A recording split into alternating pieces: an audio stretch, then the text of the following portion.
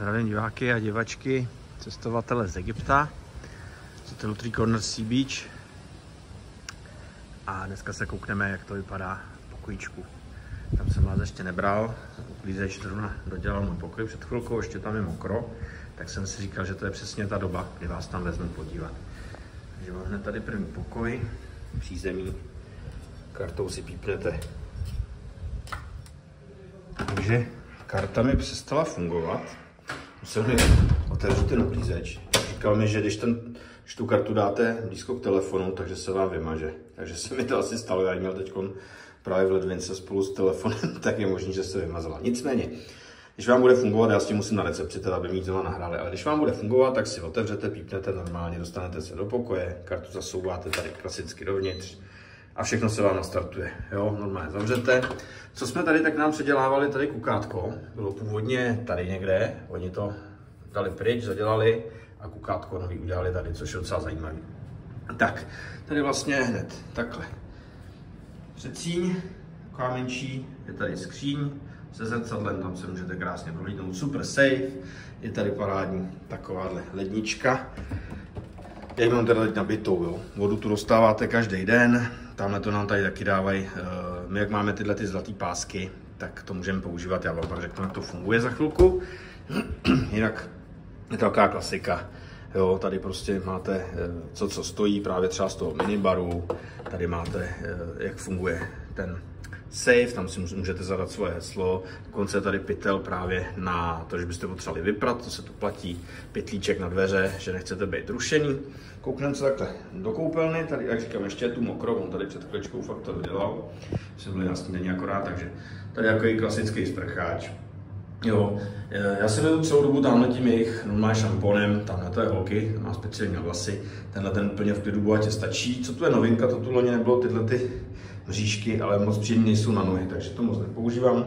No a já klasicky toaleta, zrcadlo, tady v tom zároveň ještě takhle fén, ručníky, jo, úplně normál, jako na to, že to je egyptská čtyřhvězda, tak u nás si myslím, takovou trojkou by to prošlo. Samozřejmě některé ty detaily nejsou úplně top, protože co si budeme povídat, prostě oni jako moc dobrý pracovníci nejsou. Takže zasneme a koukneme se dál. Jinak jsem si teda došel znova nahrát tu kartu, takže takhle to funguje normálně. Jo, a už se dostanete dovnitř, je to úplně v pohodě. Kouknete jí tam a už to všechno se šlape. Takhle to vypadá v běžným rodinným pokoji. Já tady spím sám, jo, protože máme dva pokoje, hned za zdí máme druhý pokoj, ten je v podstatě identický, akorát zrcadlo je otočený. Takže v každém tom pokoji máte takhle krásně ovládání klimatizace. Já tady mám nastavený 26, to je taková ta teplota, co máme doma v baráku. Jo, občas si dávám na 27, ale spíš těch 26 pořád. Tady takhle nějak vidíte, jak to vypadá. Jo, on vám tady vždycky udělá takovouhle nějakou opičárnu na té posteli. Nechávám mu tady vždycky dolar, k tomu se taky dostaneme v nějakým dalším videjku, jo, kdy vlastně oni jsou živí z toho backšiše, já vám řeknu i kolik berou ty pracovníci. No, válí se tady různě nějaký věci, to je holek, jo, nebo se tam potápět, tam mám boty, míček, holek, a tady samozřejmě máte standardní věci. On vám na ty vaše věci nešahá, což je super. jo, dostáváte takhle vždycky vodu, on se to jako nás je tady, já říkám tady dva vedle tří, tak vidíte, tam jsem stejně tři vody. Jo, a opravdu těch vašich věcí si vůbec nevšíma. Máte tam krásný zrcadlo, jo, venku je taková teráska, já vás tam taky vemu. Televize tu jsem ještě zaplou ani neměl, to asi používat vůbec já tady nebudu. A to není vůbec čas. Tak to vypadá ta teráska venku, jo, takže máte krásně vlastní terasu, sezeníčko, poutka, jo, proto já bych nechtěl třeba ani do patra, v patře to vypadá vlastně takhle, jo, tam potom máte jenom malinký balkonek, tohle je mnohem komfortnější, nehledě na to, že klidu si, když chcete někam odejít, jenom zavřete tady tyhle ty dveře zvenku, necháte si běžet klimačku a pak si zase ty dveře normálně zvenku můžete otevřít, což je hrozně pohodlný a hrozně super. Jo, a přitom ta klimačka vám tady dělá pořád příjemný klima. Takže takhle vypadá pokojíček. No a teď se budeme podívat eh, na to, jak tady funguje to all inclusive a co byste si třeba mohli vzít sebou. Letos jsme po příletu dostali od delegáta v autobuse takovýhle papírek, kdy vám vlastně píšou nějaký možnosti, jak to funguje. Tady vám dají kontakt na delegáta, kdy budete mít zkusku dneska, docela zajímavý. No a tady potom jsou výlety. Jo. Celku to mají jako fakt dost drahý, podle mě, když to srovnám, co jsme prostě už měli možnost vidět od konkurence, tak ty to mají levnější, ale samozřejmě oni vám tam píšou nějaký výhody, nevýhody. To už je na každém z vás. My tu brožurku pravidelně nepoužíváme, ona je zmuchlaná, oni se s tím hráli děti. Nicméně, když přijdete na pokoj, na pokoji máte, asi k tomu sednu, eh, tady takhle. Na pokoji máte takhle rozpis, vlastně, co jak funguje. Kdy je all inclusive, kdy jsou snídaně, kdy jsou obědy, kdy jsou večeře, jak fungují bary, co všechno máte gratis a nemáte, jo, případně co tady můžete používat. Tady má ještě starý, starý Wi-Fi, vlastně nový Wi-Fi už teď je i na pokojích, tady je to krásně vidět. Jo, tady dali TP-Link, který už vám dělá internet. Eh, funguje parádně přes ráno a potom v noci. Jo. Jinak přes ten den třeba YouTube, Facebook, tyhle ty věci, ty vám v celku jdou. Když chcete něco složitějšího, já jsem třeba zkoušel Apple TV, tak to vždycky kus načte, pak to se to sekne zase načte. Je to přetížený, jo, je tady fakt jako mraky hostů. Ale super, vlastně už nepotřebujete žádnou simku, jo, jsme dřív fakt každý rok kupovali třeba za 20 dolarů. Není potřeba, tady ta wi funguje už použitelně, dá se s tím fungovat, takže to je dobrý. Co tu je novinka na hotelu, tak takhle mají tady teď pokojový menu. Úplně paráda, že si můžete objednat i baštu. Myslím si, že to může být asi objednaný kdykoliv. Neskoušel jsem, nezjišťoval, nicméně přišlo mi to docela zajímavý. Třeba hambáč za 250 gejtských liber, tak to máte za nějakých 120 korun zhruba, jo, když ta libra je necelých 50 halířů. Takže ceny, ceny v celku přijatelný na to, aby si člověk třeba zobnul, když má chuť někdy, nevím, v noci nevypařil nebo tak, ale fakt nevím, jestli i v noci pracují, jo. Objednává se to přes nulu, no přes recepci a potom podepíšete účet a pak to platíte na konci. No, a dostaneme se k tomu all inclusive, který teda tady nějakým způsobem funguje. Já tady mám všechny čtyři pásky, jsem si došel na recepci za tím naším známým, tak mi je dal, abych vám popsal, jak to funguje. Takže když přijedete poprvé a jste malý dítě, anebo jste třeba místní, který nepije alkohol, dostáváte tenhle ten červený. Jo, ten máte vlastně na jídlo, na pití, ale bez alkoholu. Pokud jste už turista, který chce alkohol a připlatí si ho, protože normálně tady ty místní, když jako jdou si tady pronajmou pokoj, tak za to platí docela dost peněz. A ten alkohol v tom inkluzivu je zvlášť, ještě dráž. Takže když jste turista, prostě klasický Čech, třeba co přijede, jste tu poprvé, takhle v tom Three Corners Jo, protože těch hotelů mají víc. Když byste byli v nějakém jiném, tak to tady nahlásíte a už byste dostali třeba tenhle ten. Jo? Takže, když jste tu poprvé, máte alkohol all inclusive. Dostanete tenhle ten světle modrý. Když jste tady po druhý až po devátý, dostáváte tenhle ten modrý.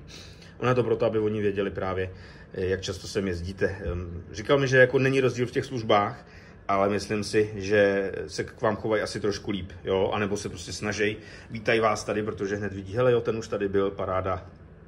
No a když sem tady přijedete po desátý a dál, to, co mám já, tak dostáváte tenhle ten zlatý. Jo, zase se to počítá ve všech těch trikornost, takže kdybyste byli osmkrát někde jinde, tady po, po druhý, tak už máte taky nárok na ten zlatý. A ten zlatý má určitý výhody.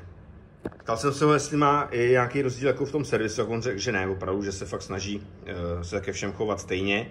Nicméně, co je taková hlavní výhoda, tak je, že můžete mít pozdější checkout. Normálně je checkout do 12 hodin, jestli se nepletu, ale tady s tím máte pozdější checkout až do 16 hodin, takže pokud někdo máte zlatý a odlítáte později, prostě tak můžete být díl na pokoji, což je docela super.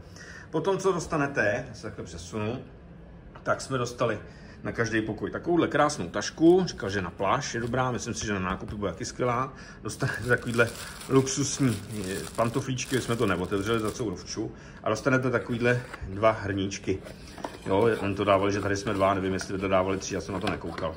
Takže takovýhle pěkný hrníčky, made in Egypt, docela jako pěkný. Jo, vím, že dřív dávali takový zlatý, nebo černozlatý, tyhle ty jsou teda trošičku vošklivější, ale manželce se líbí víc. Takže to je super.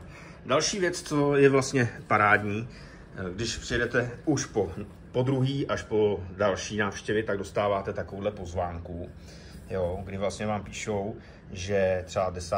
to bylo včera, jestli se nepletu, máte možnost se v Peanuts baru sejít s generálním manažerem tohohle hotelu, s panem Ismailem. Jo, tam je takový dýchánek, jako si dáte drinčík, on tam chodí, s pár lidma si popovídá. My jsme tam párkrát byli, ale Úplně to není náš šálek kávy, protože fakt tam člověk je jak pátý kolo úvozu z pravidla, takže už tam nechodíme, ale každý týden se tohleto jakoby opakuje, jo, takže když jsme tady teď třeba na tři týdny, tak už jsme to dostali po třetí, že jsme se tam mohli jít s ním sejít. Co je další bonus, tak vlastně dostáváte celkem pravidelně asi jednou týdně takovýhle talíř, on už je tady vyžraný, protože děti se na to vrhly zase. Dostanete příbory, na každý pokoj takovýhle talíř, jsou tam ještě banány, těch jablek je tam víc, je to fakt jako pěkný plný talíř, takže to si můžete hezky zobnout. Přišel jsem od moře a tak to přesně vypadá ten talíř, jak jsem o něm mluvil. Jo, tady mám vody, po uklidu pokoje, takhle vypadá ten použitý a takhle vypadá ten nový. Jo, takže prostě jablíčka, banány, prostě paráda. Jo, a to dostáváme jakožto stálí hosti prostě jednou za týden, tak to nám to sem vždycky přinesou a udělají nám tím radost. No a abych se vrátil k tomuhle, tak hlavní rozdíl mezi těma všema páskama ještě co je, tak je, že s tímhle tím zlatým páskem máte zadarmo takzvaný soft mini bar. Tedy když se koukneme do té lednice, jak jsem tam koukal před chviličkou, tam s váma zaběhnu, tak soft mini bar je vlastně všechno to nealko. To znamená tady to. On vám to doplňuje pravidelně, přijde, prostě zeptá se, co chcete, nebo to doplní i sám. Jediný, co se platí furt, tak jsou tady ty piva. Jo? Takže piva jsou placený, ale nealko máte gratis, což je docela dobrý, protože jsem koukal na ten ceník, tady je zrovna, hm, tak tam píšou, že třeba Coca-Cola normálně za 2 eura. Jo? A vy to máte tady v ceně. Prostě. Takže kolik jich vypijete, my už to ani nepijem, protože už jsme tak přepitý. Tyhle ty džusíky jsou hrozně dobrý. Takže to je docela výhoda k tomu zlatému pásku, jo, že vlastně máte pořád přístup k takhle k limonádičkám a oni vám to doplňují. Když by vám náhodou došlo něco, můžete odchytit u pízeče. On vám zase hned doplní, abyste měli. Takže to si myslím, že celkem fajn. No a když se vrátíme ještě k tomu, co ten hotel tady dělá dál, tak když máte narozeniny, co jsem já třeba měl tady narozeniny, tak vám dají takovýhle papírek, jo, čeká to tady na vás pokoji. A tam máte krásně napsáno, že vám všeho všechno nejlepší a dávají vám tři fotky zdarma. Jo, takže můžete tady kontaktovat fotografa, ten to má právě tam u té pláže, co jsem taky ukázal v jednom videu. Tam se s ním domluvíte a on vám udělá tři fotky. Fotí docela pěkně. Jo, akorát my nevíme, jestli to letos využijeme, uvidíme, jestli se s ním domluvíme. Takže to je takový bonus. Jinak ty narozky, když ještě máte, a domluvíte se s nima, jako řeknete jim to, tak oni vám u večeře udělají takový taneček, kolem vás obsají, tancují, zpívají a pak vám dají dort. Jo. My jsme jim to sice říkali, ale nějak nás nestihli, takže nakonec mi přinesli dorty na pokoj. Jsem jeden a na druhý pokoj taky jeden, takže jsme měli tady dortíky svoje. No a poslední, co bych vám chtěl tady jak nějak jako sdělit, co je docela důležité, podle mě, přivezte si sebou něco na pití. Normálně se tady totiž pije na těch barech z takovýchhle plastových kelínků. Myslím na těch barech, jakože u těch bazénů. Jo, tam prostě sklo není, aby to někdo nerozbil, nepořezal se. Takže tyhle ty plastáčky, jako je to prostě ten nejlevnější plast, něco jako IKEA mi to přijde, jo, co tam svýho času prodávali.